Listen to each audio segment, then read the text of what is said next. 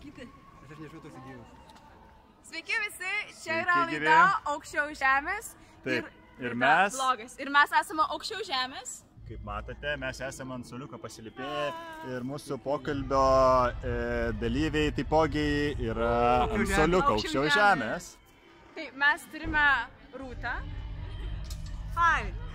ir mes turime Andrių. Taip, taip, Ir- jūs turite mane.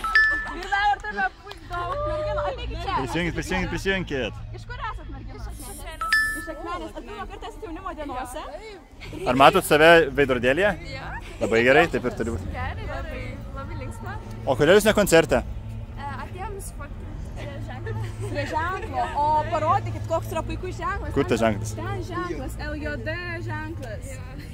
O kaip jautės čia jaunimo dienose? Gerai, o ką noriu palinkėti jaunimo dienų dalyviams?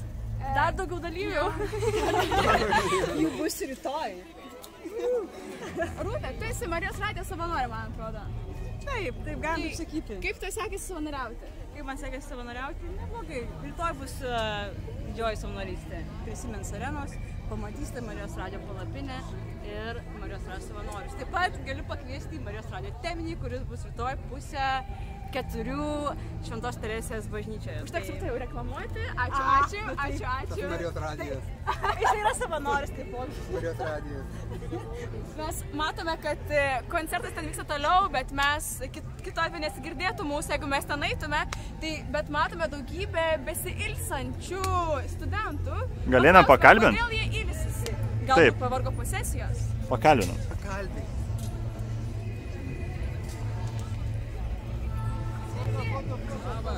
Sveiki, sveiki, sveiki. Kauno ir Šilutės. Kauno ir jūs iš arčiau. Pirmą kartą. Taip, aš pirmą kartą labas už Andrius. Ir kaip jūs jaučiatės? Super fantastiškai. Puikiai. Ką reiškia fantastiškai jūsų terminijai? Tai va pasižiūrėkit, saulė šviečia, faina kompanija, kad tik subūrėm sėdmaišių komandą į orientacinės, tai jūs įsivaizduokit, kaip čia nerealiai viskas. vadinasi jūsų orientacinė, orientacinio žygio varžybų grupė? Sėdmaišiai, tai čia ir Sėdmaišiai. yra. O kodėl sėdmaišiai? O todėl, kad baisiai originalus pavadinimas. Netrodo taip, kad sėdmaišiai yra nerealiai O kuo originalus. pavadinimas. sėdmaišiai susiję su jaunimo dienomis? Todėl, kad dabar čia šitoje vietoje strigau, padėkit, kodėl mūsų komandos pavadinimas yra sėdmaišiai. Kodėl jūsų komandos pavadinimas yra sėdmaišiai? Nes labai linksma sėdėti ant sėdmaišių. O kuo jie linksma čia užpakrikojams pinkščiau ar kaip?